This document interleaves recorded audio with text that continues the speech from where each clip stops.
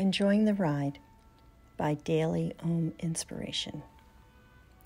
Many people live their lives struggling against the current, while others use the flow like a mighty wind.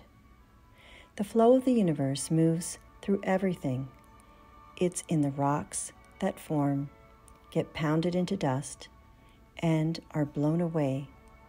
The sprouting of a summer flower born from the seed planted in the spring the growth cycle that every human being goes through, and the current that takes us down our life's paths. When we move with the flow, rather than resisting it, we are riding on the universal current that allows us to flow with life. Many people live their lives struggling against this current they try to use force or resistance to will their lives into happening the way they think it should. Others move this flow like a sailor using the wind, trusting the universe is taking them exactly where they need to be at all times. This flow is accessible to everyone because it moves around us. We are always riding this flow.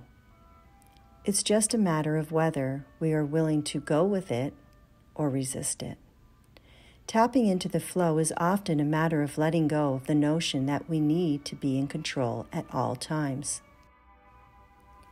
The flow is always taking you where you need to go. It's just a matter of deciding whether you plan on taking the ride or dragging your feet. Learning to step into the flow can help you feel a connection to a force that is greater than you and is always there to support you. The decision to go with the flow can take courage because you are surrendering the notion that you need to do everything by yourself. Riding the flow of the universe can be effortless, exhilarating, and not like anything that you ever expected. When you are open to being in this flow, you open yourself to possibilities that exist beyond the grasp of your control.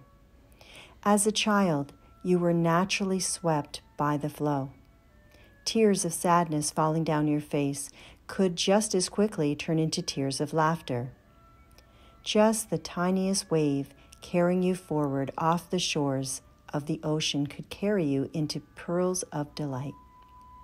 Your souls feel good when we go through the flow of the universe. All we have to do is make the choice to ride its currents.